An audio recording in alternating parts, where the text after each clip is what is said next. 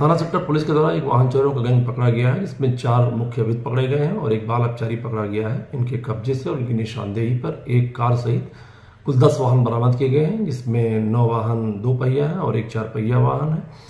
ये वाहन इन सबके द्वारा विभिन्न जनपदों में और एनसीआर क्षेत्रों में दिल्ली सहित कई जनपदों से चोरी किए गए थे, जिनकी हम लोग तहकीकात कर रहे हैं, जिनका मैदान कर रहे हैं। इनको जुडिशियल रिमांड भेज दिया गया आवश्यक वैधानिक कार्रवाई की जा रही है। दोस्तों, अगर आपको हमारा वीडियो पसंद आया तो हमारे वीडियो को लाइक करें, ज़्यादा से ज़्यादा अपने दोस्तों और रिश्तेदारों में शेयर करें और लाल बटन दबाकर हमारे चैनल को ज़रूर सब्सक्राइब करें ताकि आपको पूरे भारत से जुड़ी लेटेस्ट खबरों की जानकारी मिलती रहे। वीडियो संबंधित किसी भी प्रकार की सहायता के लिए हमें कमेंट बॉक्स में कमेंट करें। वीडियो देखने के लिए बहुत बहुत शुक्रिया, धन्यवाद।